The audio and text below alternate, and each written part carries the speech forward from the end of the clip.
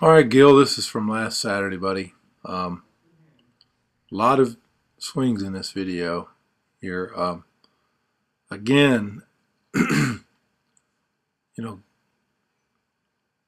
a lot of progress.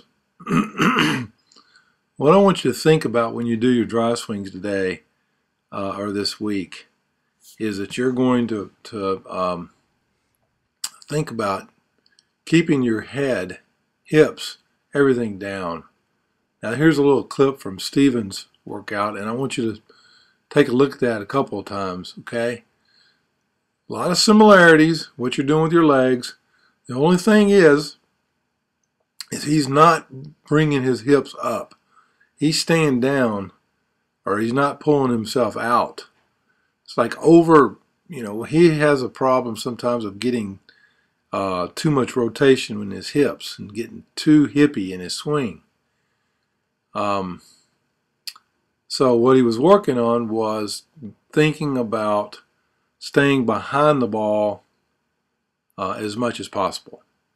So I want you to think about this. Try to, when you stay back like this and you get your hands moving forward, keep your hands in, everything goes straight to the ball, and you're not um, your, your hands are going to the ball and through the ball, not to the ball and then back towards third base dugout. Okay. That's a real long swing right there, buddy. That's not good. Gets better towards the end.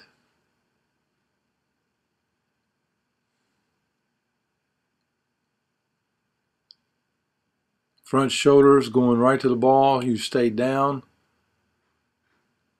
Okay, letting your arms get a little bit long on these swings. Let the ball come to you. Now you can go back into the videos and you can look at anybody you want to when they, you know, with uh, um, within the this this channel. So I want you to go and look at various guys what they're doing, okay? And I want you to work on keeping your hands close, okay? Not raising up. I mean, that's a continual song that we keep singing. Now, next after this, we're going to start, I'm going to show you some of the throws, and you can compare, and look how wide your finish is. Okay? And look at the difference. See how far your knees are apart from one another? Okay, here's my my throw you can just see a difference. You know, your your chest was up, and then your follow through, your legs were really far apart, and I come directly over into uh, towards the direction I'm throwing. you know, you kind of step to the side, follow through.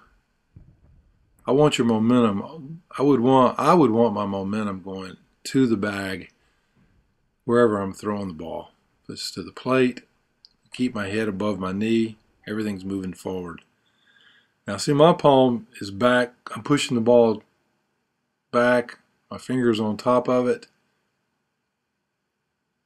And follow through towards the target.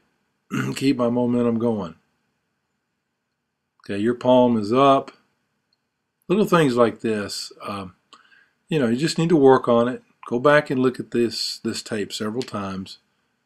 And um, we'll work on this again one one day next week. See you see you Saturday.